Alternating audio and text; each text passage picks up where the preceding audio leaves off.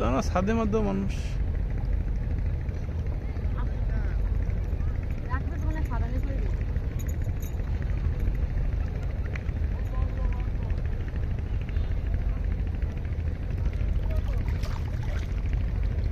মানে আরেকটা দেখলাম না পিছনে। চালাতে হ্যাঁ? দেশের মানুষ সব জানে। কি ফটোশুট করতে